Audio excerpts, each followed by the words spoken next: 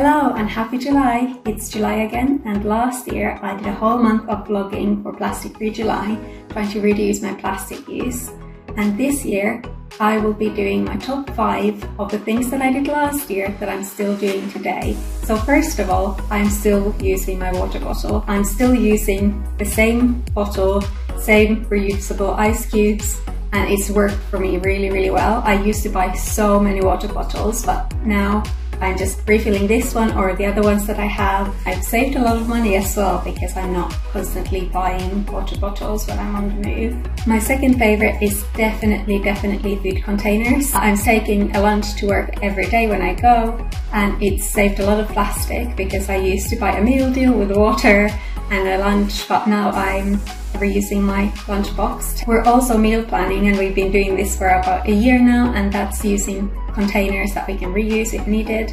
And that's saving us a bunch of money as well as plastic because we are bulk buying a bunch of things and that's using a lot less plastic when everything comes in big big containers instead of little ones that we purchase every week. So we do about three three weeks worth of food at once another one of my favorites is definitely sustainable period products um, I did a whole video in the last one explaining which ones are available and there's been a bunch of new ones entering the market since, so there's definitely something for everybody. I really enjoyed how uh, little waste it is, so there's no buying new ones and there's no single-use plastics in those ones anymore. And I've saved a bunch of money as well, it's about 40 pounds according to my calculations. It's a really big change to kind of take that leap, but it's really been worth it for me at least. Another thing that we kept up the whole year was buying refillable bags of hand soap. Um, we tried the bar for a little bit, it wasn't our favorite, but we have now started to buy only the big bags that we can fill our little pump and that's been really sustainable. It's still plastic, but it's so much less so and we really enjoyed doing that the whole year.